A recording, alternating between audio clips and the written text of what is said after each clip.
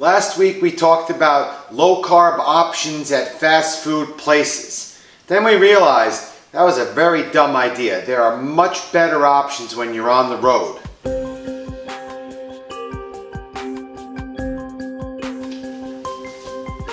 Hey there, NJRoute22.com here with another low carb keto carnivore chat.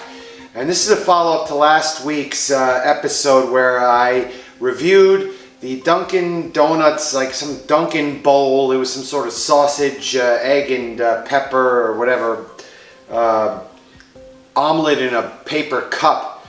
It was ridiculous. It was like five or six bucks for this this chemically processed uh, bad idea. And then I realized in the middle of that video, since most of my videos are impromptu, I have a little bit of a script today because I'm talking about some photos. But I realized that it's dumb for people to um, feel like they're obligated to buy something at a fast food restaurant, especially if they're low carb. Um, it's not like it's the last restaurant in, a, uh, for the next 500 miles and you're going to be all hungry and stuff. A, if you're low carb, your hunger doesn't hit you like a like a wall of bricks. Uh, if you're properly low carb, you can really just go a long time without eating. So you should never be in a situation where you gotta eat right then and there. And oh, Dunkin' Donuts is the only place, or McDonald's, or all those fast food places should honestly, other unless you're getting a coffee or a tea, um, no sugar, of course. You should never really eat at fast food places. That that's we do it so uh, limited at Starbucks, coffee and. Uh, every now and then um, Dunkin' Donuts, but uh, I try to eliminate every single time I, I, I, it's like Charlie Brown. I, I go to kick the football. Um, every single time I try, I feel like crap, and I can definitely taste there's something um, unsound in it. So, anyway, my whole point was like, what, if you're at Dunkin' Donuts or McDonald's, like, why feel obligated? There's a supermarket probably five or ten minutes away in any direction you go in New Jersey at least. Um, and I really think that supermarkets should be your fast food. Uh, if you really need to eat and you're like starving or you had a big workout day the day before and you just forgot to pack your, uh, your uh, low carb lunch uh, and you truly need it, that the supermarket should be your first stop. But one thing uh, that you really should avoid, uh, and most people should avoid at the supermarkets, all the packaged junk. Um, for instance, like deli sandwiches. I mean, I'm sure they make a fine sandwich, but it's on really crappy uh, white flour bread. And I mean, if you're really in a pinch, you could take the meat off, off and the vegetables off the sandwich and just eat the guts of the sandwich. But I, I wouldn't recommend that. Um, another thing to watch out for, and they stick it front and center every single time. These uh, these ridiculous chemical donuts and, and other cookies and they, God knows you never know when they made them. There wasn't some like sweet grandma in an apron making these cookies. It was a freaking robot pumping chemicals and just squirting these things out. Never buy these things. They're just a complete and utter waste of your energy and, and body uh, uh, sanity.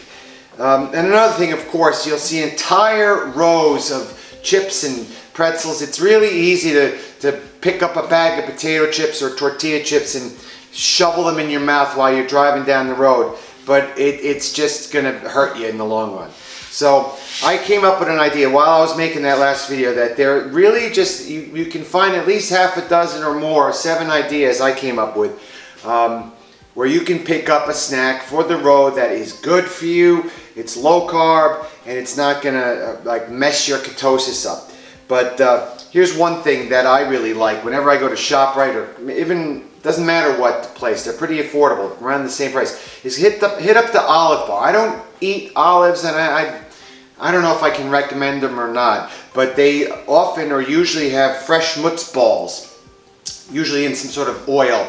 Olive oil uh, is okay, but you know, you could drain it. Get, get a half a pound of these uh, these mozzarella balls, they have some seasoning on it, Italian uh, oils and stuff. It's like five bucks or four bucks. Those will fill you up and keep you going for a long time, and they taste really, really good. I have to say the shop, the ShopRite at least, they make their own mutts there. It's just as good as the uh, Italian delis in New York and so on. Um, another good option, you know, instead of picking up these stupid egg bowls or horrible sandwiches, hit up the, the, the deli and you don't even have to order a lot. Order like a quarter or a fifth of a pound of roast beef um, and another fifth of a pound of some sort of cheese to fatten it up, like cheddar, provolone, even uh, slicing mutts. And you, you, make your own little roll-ups, and, and, you could even uh, throw some mayo in there. I'm sure they have mayo packets. Probably not the best mayo, but you can you can do it. Um, and you can get some salamis here. They have nice salamis. And if you don't feel like waiting online or talking to people and you're all antisocial, just pick up some cut meat. It's going to cost you a little more because they, you know, five, six bucks a pack. You know, you 10, 12 dollars, you got a, enough meat uh, to roll up for a couple people, especially if you're not traveling alone. Uh, deli meat's fine if you don't eat it every day. I mean, yeah, it's processed and it has all sorts of chemicals in it too and preservatives, but as a low carb meal, it's better than going to Dunkin' Donuts or McDonald's and getting crap. Uh, here's my favorite, honestly. Uh, it's almost the perfect food. Go, I mean, they're not the perfect eggs, but get some peeled uh, hard-boiled eggs. They have a whole bunch of different varieties depending on your budget and, and whether you're all anti-organic or uh, anti-non-organic. Uh, you can get a whole dozen uh, what do you call it, the boiled and peeled eggs. You don't have to deal with the shells. It's like $4. And it, obviously if you're traveling a long distance and you eat, you can't really eat more than three. You're gonna get full. Um, you know, oh, by the way, these do taste better with salt. Always try to have sea salt packets in your car. Starbucks has them, at least some Starbucks I've been to.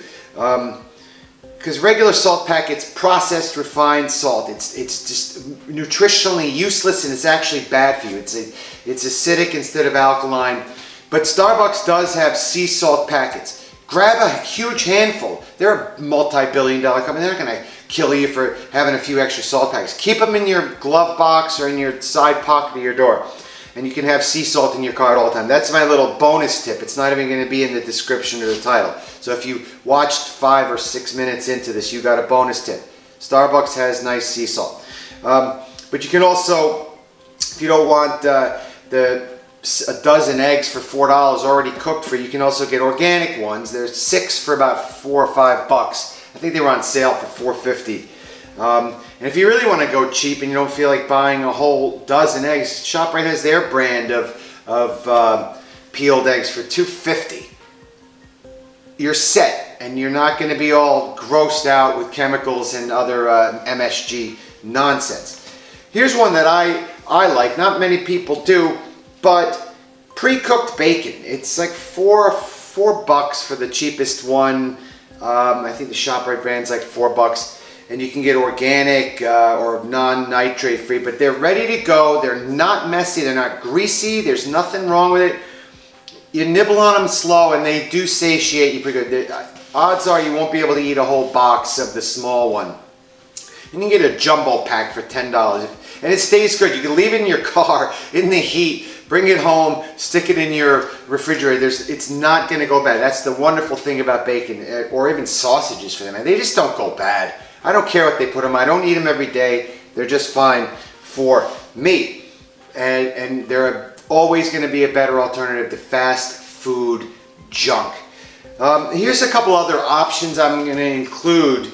Uh, they're not the best uh, options at the supermarket, but they're still uh, pretty good if you're feeling uh, you know tempted by by. Uh, rotisserie chickens, uh, a lot of them are really good. They're usually cheap too, five six bucks. You get a whole chicken.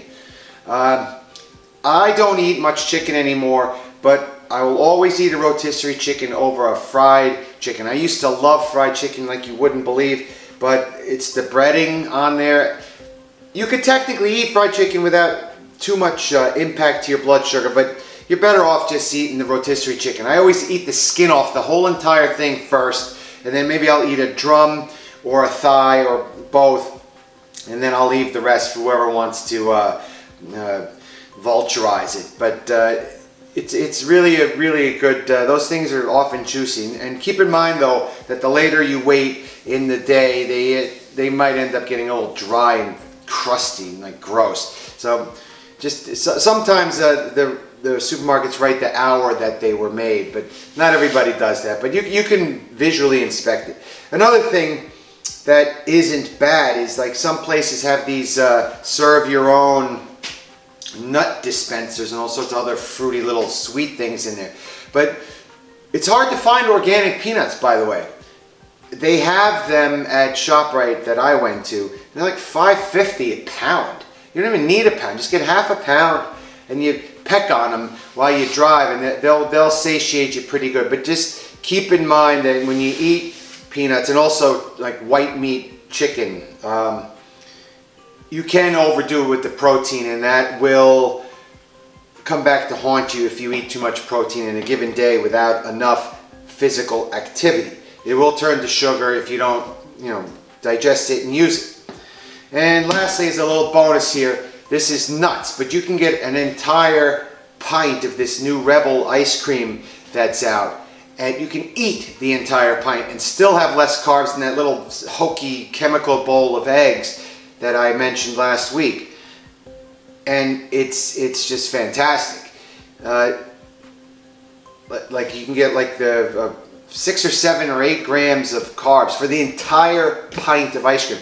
Now keep in mind it does have erythritol and monk fruit uh, sweetener, but it's still less carbs than, than most other fast food meals. But I always want to note this when I talk about sweets. I have a theory and I haven't been able to prove it, but I think eating sweets in general is just generally not a good idea uh, for your body because something about the sweet sensation should never be treated as a everyday thing. I think it's a bad thing that's happened to humanity. Just stick with your hardcore meats and uh, stuff like that and you'll be okay. But if you can believe it, uh, I highly recommend the peanut butter fudge. It's wow, it's really, really a treat and I'm not sure how long I'm to be uh, enjoying this because I, I, we'll see. I, I, may eat it every day for a month and, and if everything is fine and I'm still on the right track, I might just keep it in rotation. But I don't know anything about erythritol and, and monk fruit on a long-term basis. So keep that in mind. There's your seven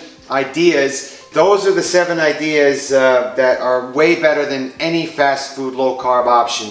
And I'm sure there's a whole lot more at the supermarket that are just fine. I'm sure you can find some pork rinds which are fine. You can find a block of cheese for a dollar fifty or two dollars that you can just eat like a like a caveman. Arr, I'm gonna eat this cheese. Just don't do the fast food anymore. It's just when you think about it, the whole concept, it's a corporation and they're constantly in a lab fiddling with uh, with the formulas and how long can they last. And I think they somebody did something. They left some sort of hamburger or something some sort of processed food. They left it out for a year and didn't even get any mold on it. What does that tell you? So let me know what you think. And if anybody uh, agrees with me regarding the uh, just eliminating fast food and, and mega corporations from your, uh, from your daily routine, and if that's a good idea. See you next week on Low Carb Keto Carnivore Chat on NJRoute22.com.